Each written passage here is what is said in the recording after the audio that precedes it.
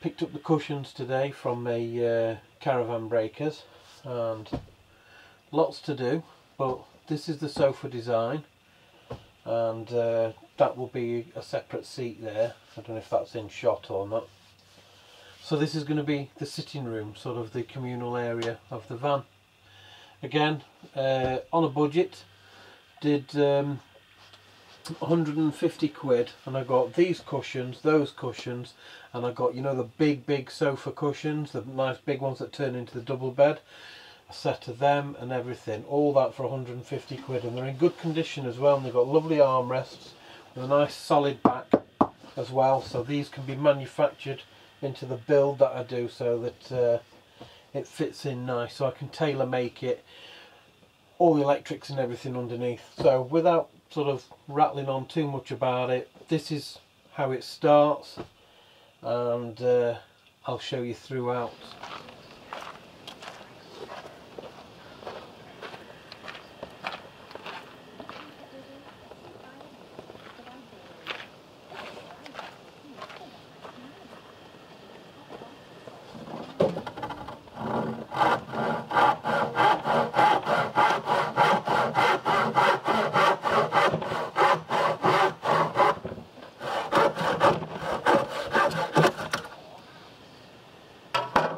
that's the length of the sofa.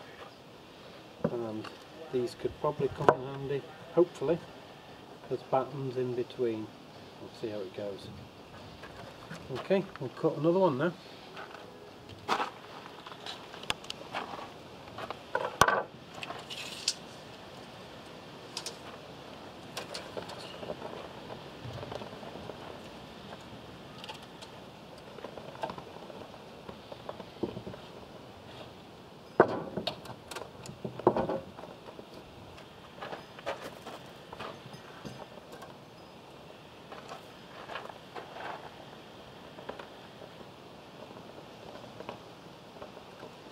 legal requirement is six foot uh, for a camper van bed.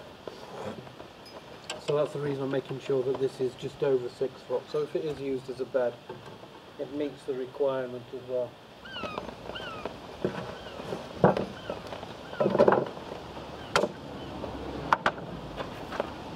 Okay, what I'll do now is I'll measure now the, the depth of the seating with that. And, uh, see how we go. Hopefully these battens will be bang on the right size. I'll find out in a minute. Right, I've got my battens now the right size that I want. So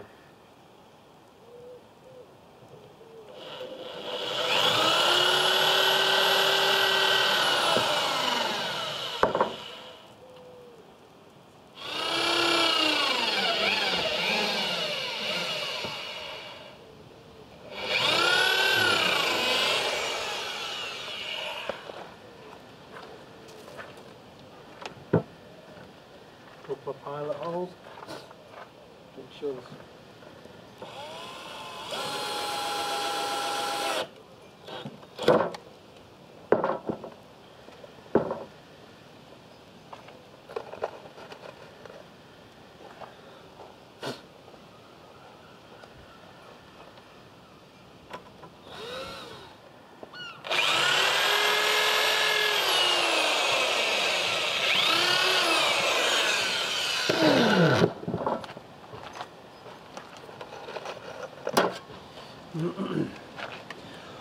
Once you get the base built, your confidence starts to go up then. And the planning in your head as well, because you start to see the shape forming.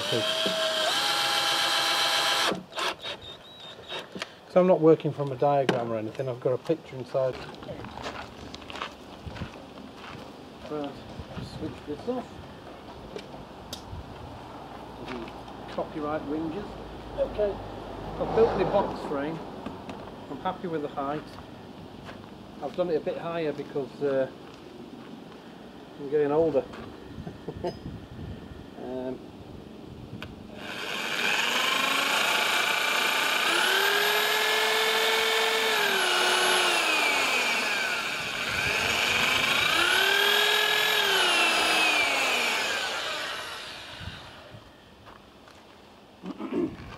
thing about this is using these clamps.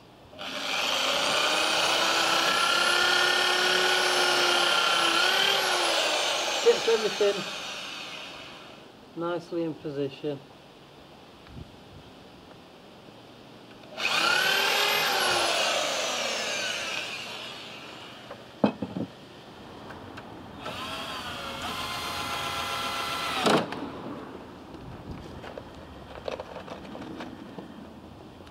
So I'm going to do that all the way around all four. Just clamping it here and clamping it there is holding the whole thing together, which is encouraging as well as that.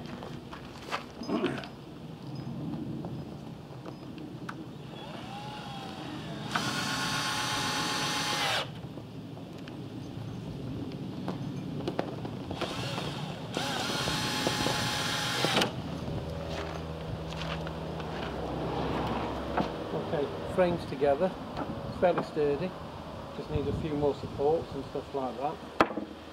But what I'll do now is I'll put it in the van, put the cushions on it, have a look at it for height, retest it again, because if I'm not 100% happy, undo these screws, shave a bit off, get it to the right height, leg height, stuff like that that's really important, you know. Okay, you can see she's in. I'm happy with that height because when you sit, your legs are nice and straight. Quickly show you. I built the framework and then I cut it down so that I've got the leg area because obviously the this table you can just see in the shot I think that one that's going against the wall and then the legs come down so um, So I obviously wanted somewhere where you could swing your legs and sit and eat at the table and face each other. Um, so that was the idea behind the framework for that. So now it's a case of got the frame, smarten it up now, you know, create the trim, everything, get it looking so it's part of the furniture and part of the, uh, pardon the pun, but so it matches the van in all ways and then that's that's in, then the sofa's done.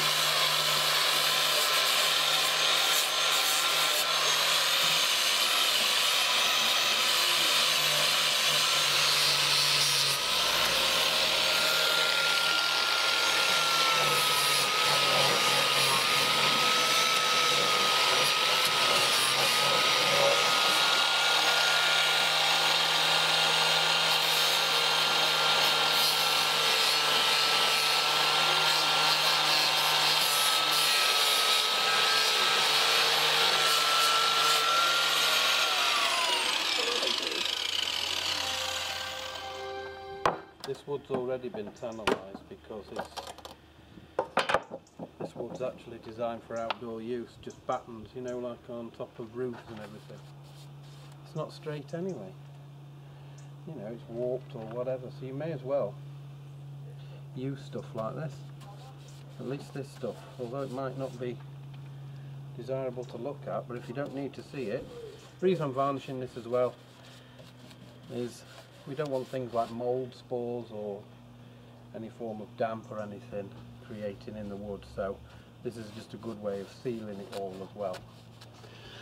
While I'm waiting for that varnish to go off on the uh, sofa frame, pull that out and because I don't want to go around the back of here anymore just tidying it up with some trim now and I'm just tacking that in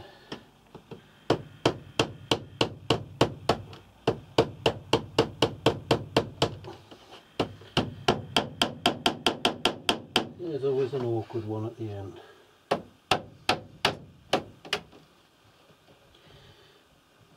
It had to be you. If you do get a situation where it is a bit fiddly, hold it with pliers.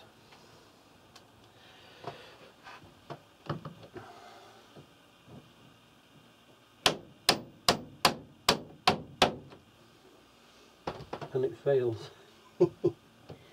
Stuff it.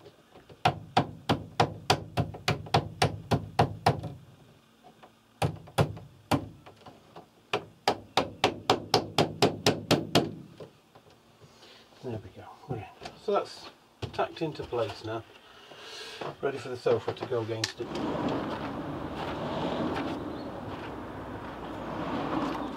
This is the uh, foot plate I'm putting in now.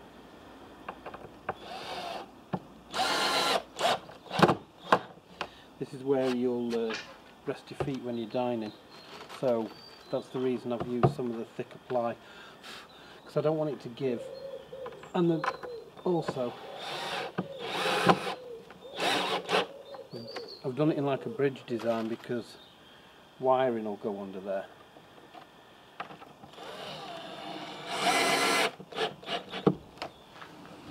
Okay, before fastening anything else, Want to make sure I'm happy with how high that lip is there because I want an extra support for the armrest just on this side because it hasn't got a wall to lean against. So, cushions in, nice little overhang there. There. That's good. So I'm happy with that. Still undecided or not whether to cut this back, but happy with the progress. So I'll put that last bit of wood in there and then I'll clad it up. So these are brilliant. Invest in them.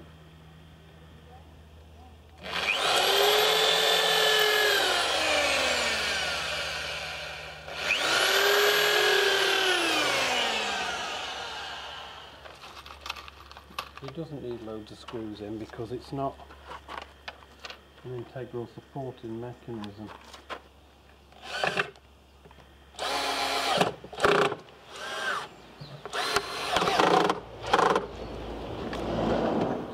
Right, that's that bit. Cut the wood now. Putting this piece across now. What I'm using is, you know, kayaks. I don't want the wood to move.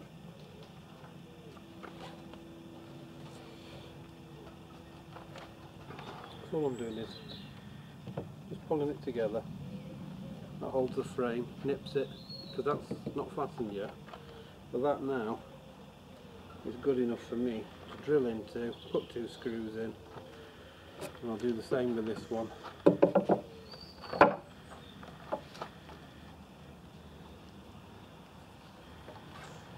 Just little tips if you haven't got anyone to hold anything for you or you can't quite get a clamp in place. Obviously these straps are way too long because I use them from the kayak but we're So happy with that.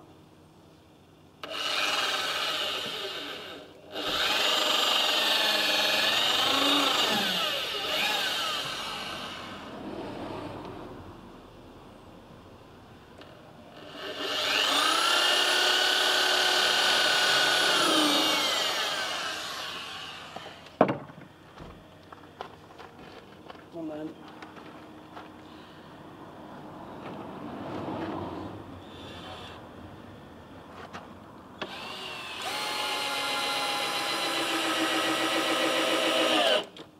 and there you go, which is in.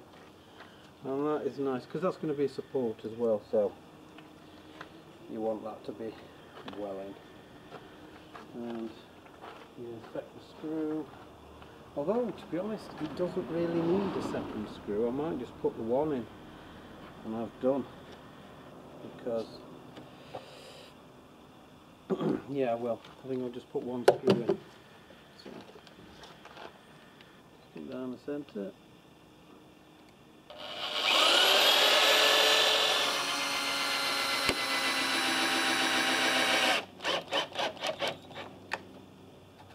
There we go. Nice.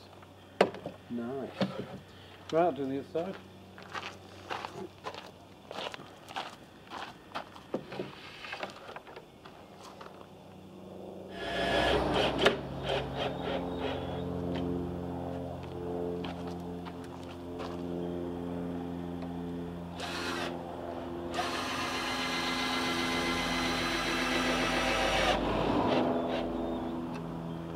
Lovely.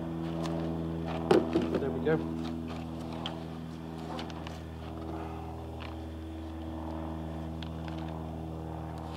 Biggles out for.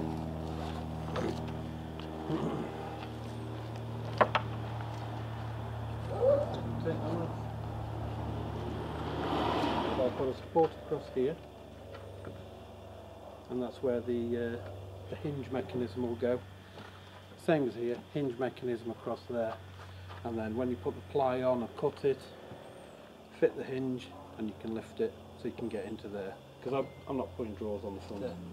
So it doesn't move, I know it doesn't move but it's having that extra hand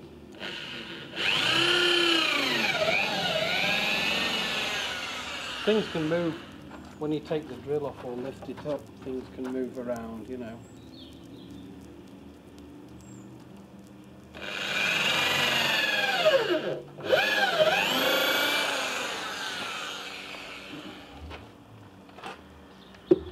This sun is absolutely gorgeous. you notice on most of my videos I'm either in a vest or no top on.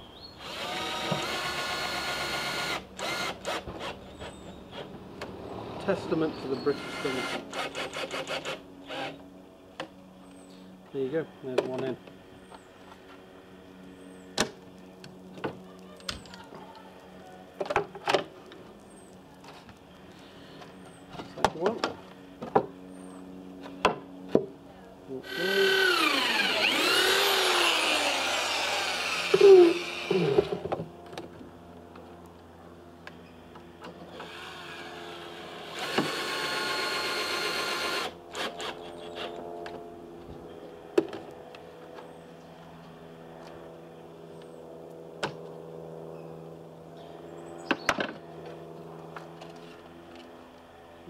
14th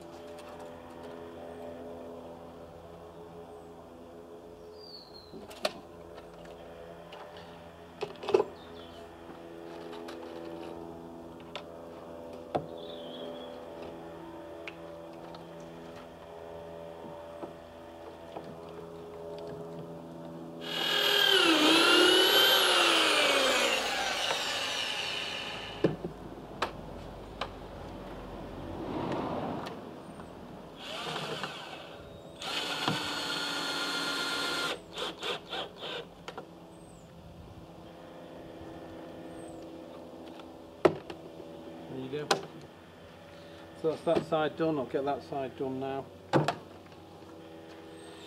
And I found some white boarding.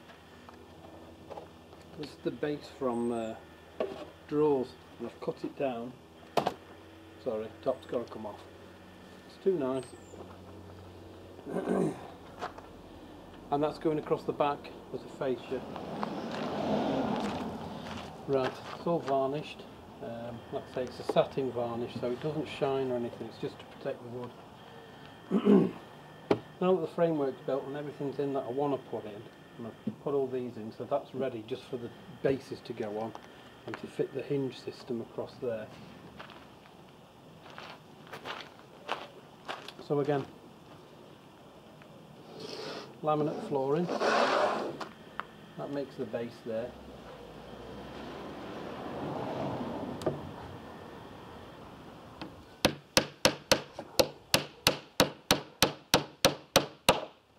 I'm as fussed about the back here because this is sort of like business end. Doesn't really go on show.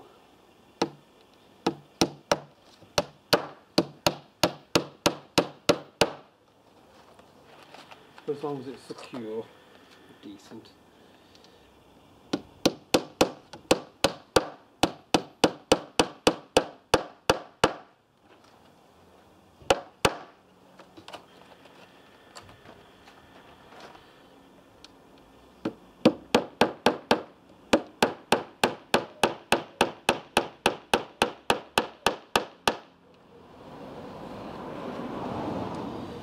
Right, the other thing I've done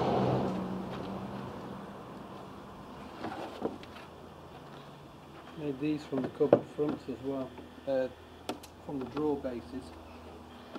So I'll stick them in now.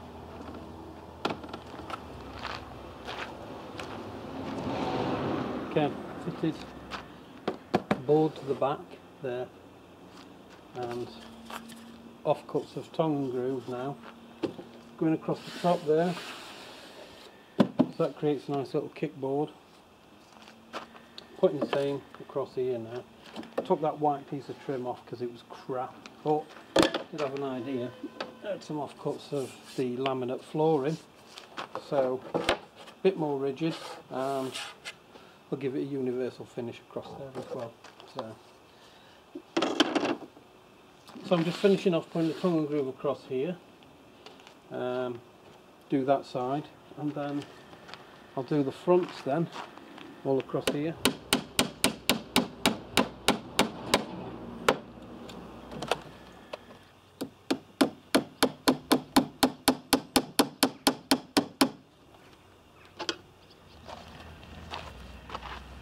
Right, I'm putting the last bits on, which is here, uh, across there, a couple across there. I've done the floor like that, all the boarding and everything's in there, that, and I've tongue and grooved that. That's all varnished now. Um, so yeah, just this last few bits, and then it can go in the van. Um, okay, it's all completed, up to a degree as you can see inside now nice space looks tidy just need trim for the edges now to tidy all of this bit up all the front fascias on and all this is tacked up nice that's tidy. And this is nice and solid. That'll take feet and things like that. Take somebody's body weight anyway. Okay sofa's in. Fits nice, nice and secure for sitting on. Just do the sit on test. Takes body weight well, doesn't move, nice and steady. So pleased with that. Of course for dining, take shoes off for dining. There, sit at the table there, you can eat a meal. Obviously you take them away and you've got your table there. So happy days. So I'll get this table in now. Okay, last of the chores. I've marked this using spirit level as well. These are one of the dining tables that clips in behind here. So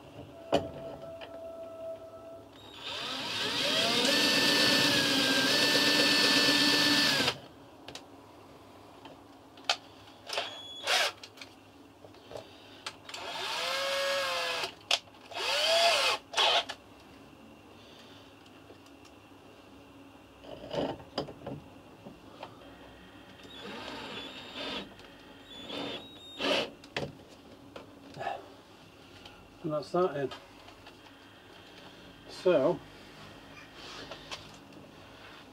let's try the table now. It's a clip variety, you see the clips there, look. So what you'd basically do is table up, hook it onto there, and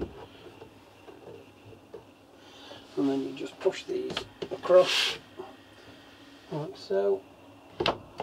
That's the table in.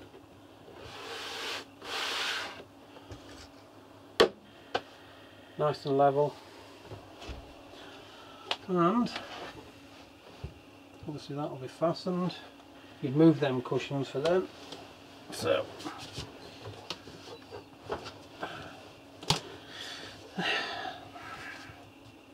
perfect height for eating job done. Excellent. There we go. Table sofa everything in. Um, looking good looking good. There we go. So that's everything. Um, next I'll have to make a start on getting that in now. The sink and everything so that I can close this bit off and then work towards the back bit. So thanks again for tuning in and uh, subscribe if you enjoy watching my videos um, like I say it's just a cheap way of building a camper van if you haven't got loads of money this is the way to do it beg, steal, borrow, second hand everything. But you can still end up with something nice that you can go away in. So yeah, keep watching and uh, subscribe if you're enjoying it anyway. So thanks for tuning in. Okay, right, uh, cue the music.